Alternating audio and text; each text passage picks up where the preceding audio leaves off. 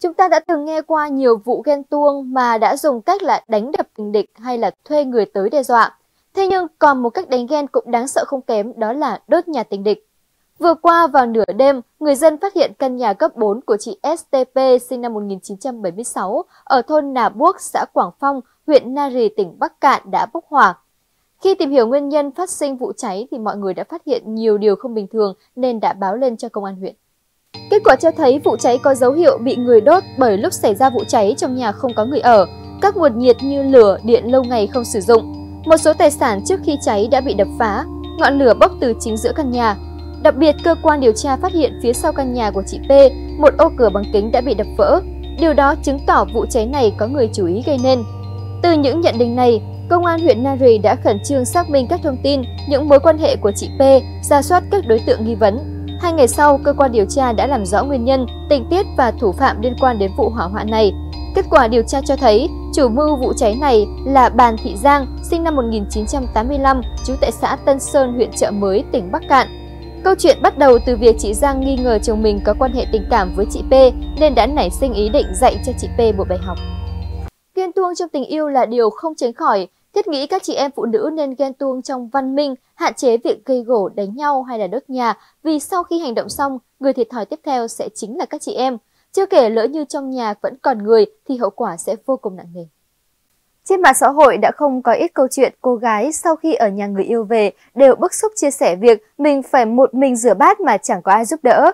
Bởi thế chuyện rửa bát ở nhà người yêu nghe qua thì nó cứ như một màn thử thách thực sự luôn vậy. Mới đây mạng xã hội lại lan truyền câu chuyện ngày đầu ra mắt nhà bạn trai của một cô gái khiến ai nấy đều phải choáng váng. Cụ thể khi về nhà người yêu, cô đã bị yêu cầu rửa gần 20 mâm chén đĩa. Trước tình cảnh này, cô gái đã lập tức có hành động phản kháng vô cùng bất ngờ. Theo như bài đăng trên mạng xã hội, nhân vật trong câu chuyện đã mang vài chiếc bát ra cổng đập vỡ vì cảm thấy nhà bạn trai quá đáng với mình. Kết quả là cô gái đã cãi nhau một trận với người yêu, anh chàng này tỏ ra tức giận và bắt cô phải xin lỗi gia đình mình. Nhưng cô gái lại đáp trả rằng, lẽ ra em nên mang cả đống bát này ra sút vào người anh. Ở nhà tôi, ăn cỗ xong rửa bát còn có người rửa cùng. Anh nghĩ bố mẹ tôi nuôi tôi lớn từng nấy, để sang nhà anh chơi chưa được ăn miếng nào mà đã phải một mình rửa bằng đế bát à, mơ đi. Kết lại, cô nàng có lời phán quyết luôn trong mối quan hệ, chia tay đi. Cư dân mạng hiện đang chia làm hai luồng ý kiến trái chiều. Một bên cho rằng cô gái đã có hành động quá vội, dù gia đình chàng trai có hơi quá đáng nhưng cách cư xử của cô là quá đáng và bất lịch sự. Bên còn lại thì cho rằng lỗi thuộc về chàng trai và gia đình anh. Đáng ra anh phải đứng ra bảo vệ bạn gái hoặc ít nhất chọn cách khuyên nhủ, thậm chí là cùng nhau rửa bát, chứ không nên tức giận như trong câu chuyện. Mặc dù chưa biết thực hư ra sao, nhưng câu chuyện này chính là một bài học cho những ai đang có dự định đưa người yêu về nhà ra mắt gia đình. Dù trong trường hợp nào đi chăng nữa, hai bên cũng nên biết nghĩ ngợi cho nhau một chút. Hãy khiến cho cô gái cảm thấy thoải mái, chứ đừng làm việc trong ấm ức, tức giận và thấy bạn trai không biết cách bị đến mình nhé. Thử nghĩ mà xem nếu ngày hôm sau bạn phải lết mình đi làm khi trước đó đã nhậu say xỉn thì sao? Đó chính là cực hình. Giờ mà có mở mồm ra xin sếp với lý do em say quá thì chắc lại nguyên combo trừ lương, trừ công hết mất thôi. Và mới đây, vị ship trung mơ này tâm lý đến độ sẵn sàng cho nhân viên nghỉ làm hôm sau nếu lỡ có nhậu quá say xỉn. Mới đây, một công ty truyền thông tại Anh luôn mở rộng cánh cửa cho những người đam mê tiệc tùng. Điều đặc biệt là nữ giám đốc, người sáng lập công ty này, đã cho phép nhân viên của mình bút lịch nghỉ nếu ngày trước đó họ quá say xỉn. Giám đốc chia sẻ, thời nay giới trẻ rất năng động và trẻ trung, các em sẽ luôn tiệc tùng bất kể các ngày, chứ không để dành đến cuối tuần như các thế hệ trước. Chỉ cần các em biết đi chơi vào ngày nào rồi bút lịch với tôi là được. Ellie, 19 tuổi, là quản lý cấp cao mảng PR của công ty, là một dân tổ tiệc tùng với bạn bè. Với luật lệ của công ty, khi thấy hơi say, cô có thể nhấc máy và xin xếp ngày hôm sau để nghỉ và làm việc tại nhà. Chính sự tâm lý của vị sếp tổng đã làm cho năng suất làm việc của nhân viên tăng lên đáng kể. Vì làm ở mảng ngoại giao, Ellie không thể tránh khỏi việc phải quá chén, nên giám đốc đã rất tâm lý và cho phép cô được nghỉ làm. Giải thích cho việc dễ dãi với nhân viên như vậy, nữ giám đốc chia sẻ rằng Điều đầu tiên, tôi muốn tạo không khí tin tưởng tuyệt đối trong công ty.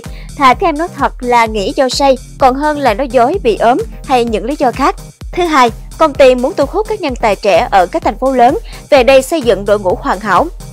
Giám đốc cũng nói thêm rằng quy định này của công ty cũng gặp rất nhiều ý kiến trái chiều, nhưng hiện tại nó đang giúp công ty có thể phát triển và bền vững, giúp nhân viên có thể thoải mái hơn với các sếp của mình. Mong rằng các bạn trẻ hãy nghiêm túc hơn khi làm việc. Nếu có những lý do cá nhân, hãy nói thật với các sếp của mình, đừng nên dối trá, thế nào cũng lòi đuôi mà thôi.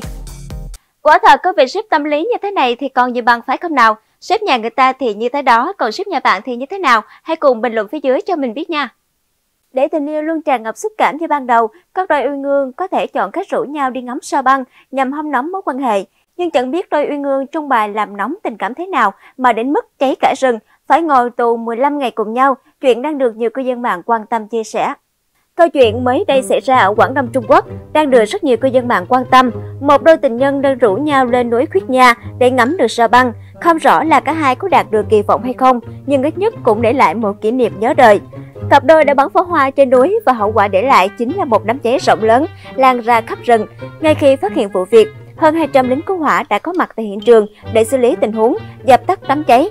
Lực lượng cứu hỏa mất hơn 2 tiếng đồng hồ mới giải quyết được trận lửa lớn. Tai nạn đã gây thiệt hại không nhỏ, thiêu rụi hết cây cỏ trong diện tích hơn 7.000 m2. Tại hiện trường, cảnh sát đã phát hiện đôi tình nhân và bắt giam trong 15 ngày. Hai cơ quan chức năng, cả hai đều khai nhận chỉ là núi để xem so băng. Mạng xã hội Trung Quốc cũng cháy theo khi có hơn 100 triệu người tìm kiếm câu chuyện trên Weibo. Theo netizen Trung Quốc, thời tiết ở Quảng Đông vốn dĩ đã khô nóng trong nhiều tuần qua rồi. Chưa kể báo đài cũng đưa tin liên tục về nguy cơ cháy rừng. Thế nhưng đôi tình nhân này vẫn chơi lớn như vậy khiến nhiều người bức xúc. Chưa kể một số người còn yêu cầu cả hai phải đền tiền vì gây ra vụ cháy, bao gồm tiền nhân lực tham gia cứu hỏa và các tài nguyên thiên nhiên bị phá hỏng. Thôi thì yêu nhau mấy núi cũng trèo, mấy sông cũng lội, mấy đèo cũng qua. Trải qua được kiếp nạn này, chắc tình yêu của hai bạn trẻ trong sự việc xảy ra này sẽ càng ngày mạnh mẽ hơn.